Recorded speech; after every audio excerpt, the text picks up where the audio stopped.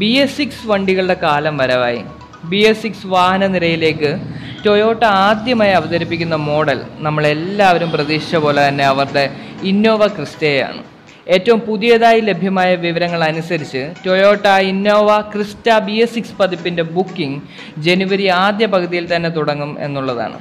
B S ഫോറിൽ നിന്ന് B S സിക്സിലേക്ക് മാറുമ്പോൾ എന്തൊക്കെ മാറ്റങ്ങളോടെയാണ് ഇന്നോവ ക്രിസ്റ്റ നമ്മളിലേക്ക് എത്തുക എന്ന് നോക്കാം. ഏറ്റവും പ്രധാനപ്പെട്ട കാര്യം ഏറ്റവും ദുഃഖകരമായ കാര്യം Toyota two point eight litre engine production അവസാനിപ്പിക്കുകയാണ് എന്നുള്ളതാണ്.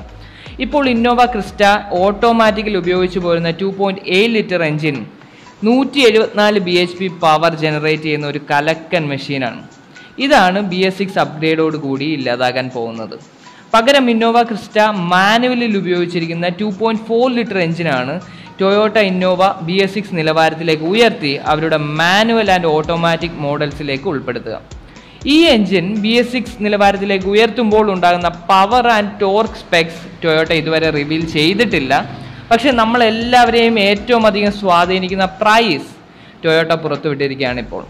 പെട്രോൾ വണ്ടി ഏകദേശം മുപ്പത്തോരായിരം മുതൽ അറുപത്തി മൂവായിരം വരെ പ്രൈസ് ഹൈക്ക് എക്സ്പെക്റ്റ് ചെയ്യുമ്പോൾ ഡീസൽ വേരിയൻസിൽ അറുപതിനായിരം മുതൽ ഒരു ലക്ഷത്തി മുപ്പതിനായിരം വരെ വില ഉയരുന്നതായിരിക്കും.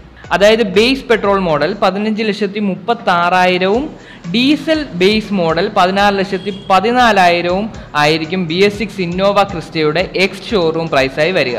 ഈ വിലകളെ ടൊയോട്ട അവരുടെ ഇൻട്രൊഡക്ടറി പ്രൈസ് ആയിട്ടാണ് അവതരിപ്പിച്ചിരിക്കുന്നത്. അതിനാൽ തന്നെ വരും ദിവസങ്ങളിൽ പ്രൈസ് ഹൈക്ക് ചെറിയ രീതിയിൽ എങ്കിലും പ്രതീക്ഷിക്കാവുന്നതാണ്. മറ്റ് ഡിസൈൻ ചേഞ്ചസോ കോസ്മെറ്റിക് അപ്ഗ്രേഡ്സോ ഒന്നും തന്നെ ഉണ്ടാവില്ല എന്ന് ടൊയോട്ട ഇതിനകം തന്നെ പറഞ്ഞു കഴിഞ്ഞു. അപ്പോൾ പുതിയ ടൊയോട്ട വരുമ്പോൾ ഉണ്ടാകുന്ന മാറ്റങ്ങൾ ഈ ചെറിയ മാറ്റങ്ങൾ മാത്രമാണ്. പ്രൈസിന്റെ കാര്യത്തിൽ മാറ്റങ്ങൾ ഉണ്ടാവും പിന്നെ എഞ്ചിന്റെ കാര്യത്തിലുണ്ടായ ഒരു വലിയ മാറ്റവുമാണ് ഉണ്ടായിരിക്കുന്നത്.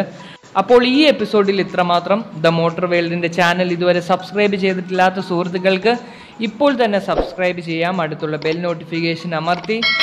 പുത്തൻ വാഹന വിശേഷങ്ങൾ ഏറ്റവും ആദ്യം തന്നെ അറിയാം. അപ്പോൾ വീണ്ടും കാണാം.